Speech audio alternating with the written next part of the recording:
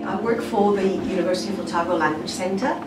I have worked for this company for since 2002. I uh, have only ever had either casual contracts or fixed term contracts for a term or a variable hours contract until very recently. When you're new in a company, you want to do your best, you have to prove yourself, you work hard, you go the extra mile. I've been waiting for this to have some kind of an effect in terms of more secure employment. Um, but it hasn't happened.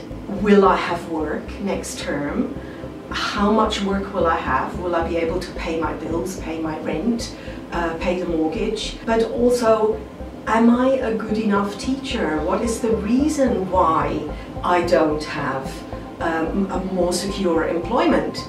Um, and that kind of uncertainty can gnaw at your self-confidence. You know, you go from hopeful to waiting to becoming a little bit bitter and a little bit negative because I'm asking myself, am I working for a bad employer?